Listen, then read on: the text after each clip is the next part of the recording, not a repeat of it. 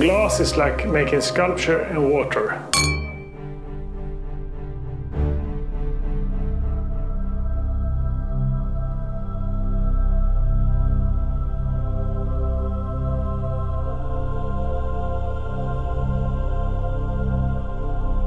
The special with glass is that so much is happening while you're working that you have to adjust your ideas all the time.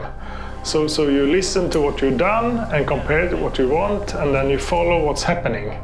It's like playing music together with other people.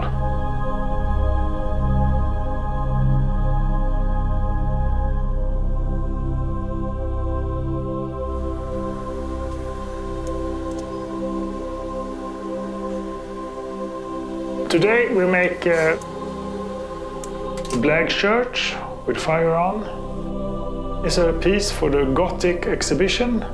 With uh, ducks together with birds and, and uh, shells.